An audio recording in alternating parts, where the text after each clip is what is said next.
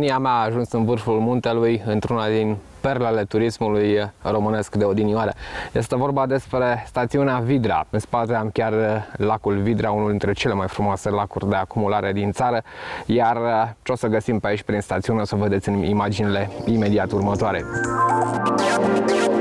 Stațiunea Vidra, una dintre cele mai frumoase stațiuni montane din România, este situată la 25 de km de Voineasa, în inima munților Lotrului, la o înălțime de 1370 de metri, cu aer deosebit de ozonat.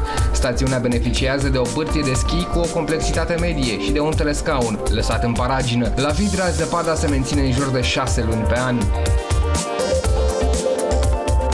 Odinioară, parcarea din spatele meu era plină de mașini, stațiunea era plină de turiști. Acum, foarte multă liniște. De, e o stațiune de munte în care bă, liniștea are un cuvânt foarte important de spus. Dar nu lipsa turiștilor cred că este impedimentul necesar pentru funcționarea acestei stațiuni, a stațiunii Vidra, ci ceea ce găsim aici. Încă de la intrare am văzut un indicator, vilele, complex de vile Vidra. Ne-am gândit, wow, găsim și noi cazare. Da, cam așa arată vilele din această stațiune. Sunt cu lacătul pe ușă și sunt în paragine de ani de zile, Dumnezeu știe de câți ani, nici o șansă de a pătrunde înăuntru, geamul sparte și foarte multă de lăsare.